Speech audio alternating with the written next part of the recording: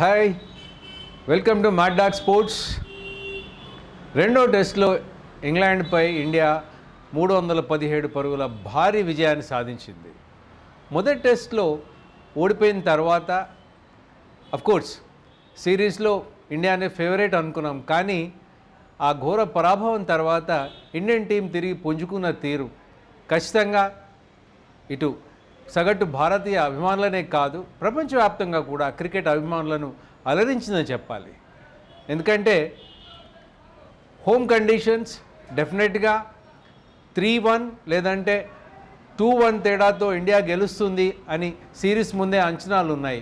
కాకపోతే ఇంగ్లాండ్ రెండు సున్నా తేడాతో శ్రీలంకను అక్కడే వాళ్ళ శ్రీలంకన్ గ్రౌండ్ పైనే ఓడించి ఒక అద్భుతమైన సిరీస్ విక్టరీతో మంచి కాన్ఫిడెన్స్తో టీం ఇండియన్ షోర్స్కి వచ్చింది.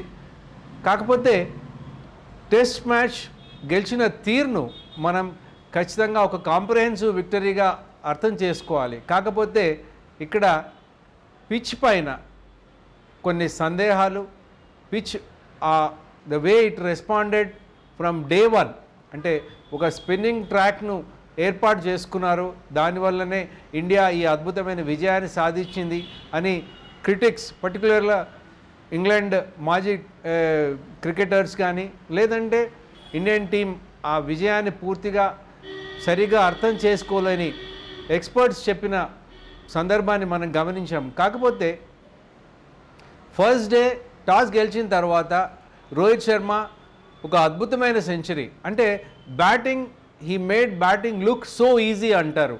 అంత అద్భుతంగా రాణించాడు. నూట అరవై పరుగుల పైన సాధించాడు. సాధికారమైన ఇన్నిక ఇన్నింగ్స్ ఆడాడు రోహిత్ శర్మ. తర్వాత త్రీ హండ్రెడ్ ప్లస్ స్కోర్ చేసిన తర్వాత ఇంగ్లీష్ బ్యాట్స్మెన్ మన స్పిన్నర్స్ ధాటికి నిలబడలేకపోయారు. నూట ముప్పై నాలుగు పరుగులకే ఆల్అౌట్ అయ్యారు. ఇక్కడ గమనించాల్సిన అవసరం ఏంటంటే ఏ టీం అయినా సరే మొదటి ఇన్నింగ్స్లో నూట నా ముప్పై నాలుగు పరుగులకి ఆల్అౌట్ అయిందంటే మాత్రం ఆ టీం తిరిగి పుంజుకోవడం చాలా కష్టం. కాకపోతే టర్నింగ్ ట్రాక్ పూర్తిగా బౌలర్ స్పిన్నర్ ఫ్రెండ్లీ కండిషన్స్ ఉన్నాయి అని చెప్పి అన్నారు. కానీ రెండో ఇన్నింగ్స్లో ఇటు కోహ్లీ ఒక కెప్టెన్స్ నాకు ఆడితే కోర్స్ అశ్విన్ ఆల్రౌండర్గా అశ్విన్ మనం అతనికి ఇవ్వాల్సిన గుర్తింపు ఇప్పటివరకు మనం ఇస్- ఇవ్వడం లేదు. చాలా సందర్భాల్లో అశ్విన్ ప్లేస్ టెస్ట్ టీంలోనే డౌట్ఫుల్గా ఉంటుంది. వన్ డేయర్స్ని తర్వాత షార్టర్ ఫార్మాట్కి అతన్ని ఆల్రెడీ దూరం చేశారు నేషనల్ సెలెక్టర్స్. కానీ మరొకసారి అశ్విన్ తన బ్యాటింగ్ పటిమను ప్రదర్శించడం చెప్పాలి. మనం గుర్తుంచుకోవాల్సిన అంశం ఏంటంటే ఆస్ట్రేలియాలో ఆ అద్భుతమైన విజయం వెనుక అశ్విన్ యాజ్ అ బ్యాట్స్మెన్గా హన్మ విహారీతో ఆ సిడ్నీ టెస్ట్ డ్రా చేసుకోవడానికి అతను ఆడిన తీరు. మనం ఖచ్చితంగా దాన్ని అర్థం చేసుకోవాలి. ఈరోజు మరొకసారి అశ్విన్ యాజ్ అ బ్యాట్స్మెన్ ఒక అద్భుతమైన సెంచరీ సాధించడం తర్వాత ఇంగ్లాండ్ ఏ దిశలో కూడా బ్యాటింగ్ మన ఇండియన్ బౌలింగ్ ముందు నిలబడలేకపోయింది.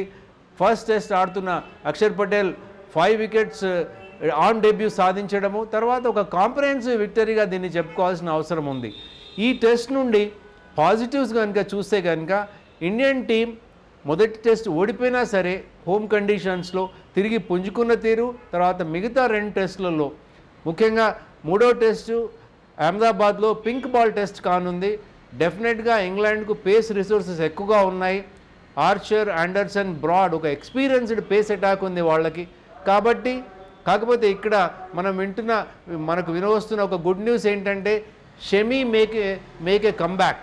So బుమ్రాకు రెండో టెస్ట్లో రెస్ట్ ఇచ్చారు. తర్వాత Ishant Sharma Shami Bumrah course our own Siraj. ఈ నలుగురితో ఇండియన్ పేస్ అటాక్ చాలా స్ట్రాంగ్గా కనబడుతుంది.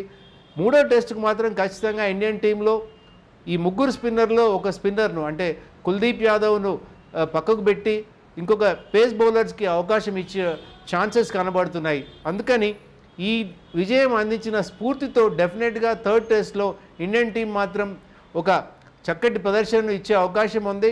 డెఫినెట్గా రెండు ఒకటితో సిరీస్ గెలిచే అవకాశాలు కనబడుతున్నాయి. దీనివలన డెఫినెట్గా ఇండియన్ టీం వరల్డ్ టెస్ట్ ఛాంపియన్షిప్లో ఫైనల్లో న్యూజిలాండ్ని ఎదుర్కొనే అవకాశాలు అయితే మెరుగుపడ్డాయని చెప్పాలి. We have to wait and see